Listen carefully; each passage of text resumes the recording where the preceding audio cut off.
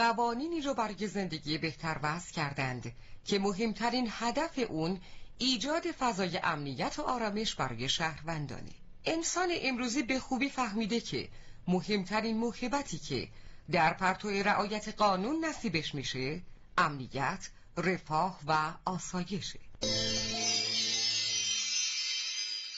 بر اساس اصل 62 قانون اساسی جمهوری اسلامی ایران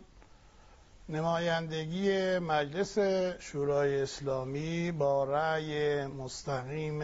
آهاد مردم هست و برای یک دوره چهار ساله نمایندگان مجلس انتخاب میشن و در رابطه با تعداد نمایندگان مجلس هم قانون اساسی تکلیف رو مشخص کرده و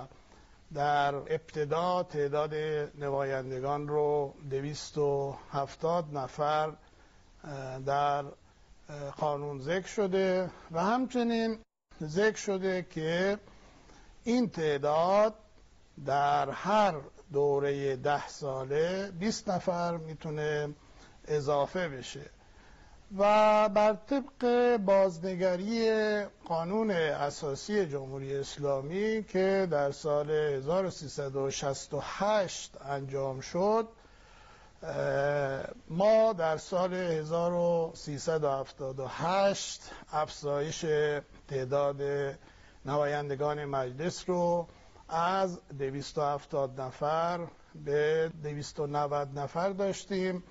و ولی متاسفانه از سال 78 تا کنون تغییری در تعداد نمایندگان مجلس صورت نپذیرفته. ولی طبق قانون اساسی باید این افزایش تعداد رو برای هر دوره ده ساله داشته باشیم. بنابراین بر طبق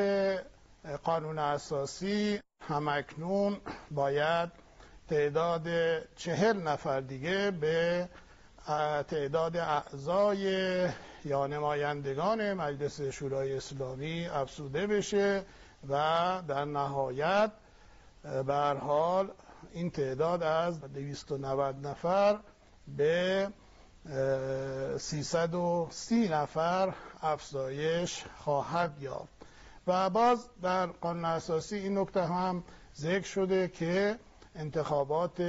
مجلس شورای اسلامی قبل از پایان دوره مجلس باید انجام بشه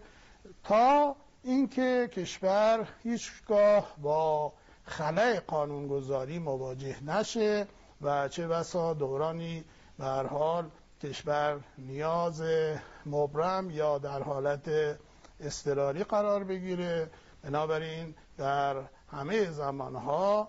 ما باید مجلس رو دایر داشته باشیم به امر قانونگذاری. هیچگاه بر طبق قانون اساسی نباید معطل بمونه بی اطلاعی از قانون افراد رو در معرض قانون شکنی قرار میده و زندگی دشوارتر میشه. بیایید شهروند شهر قانون باشید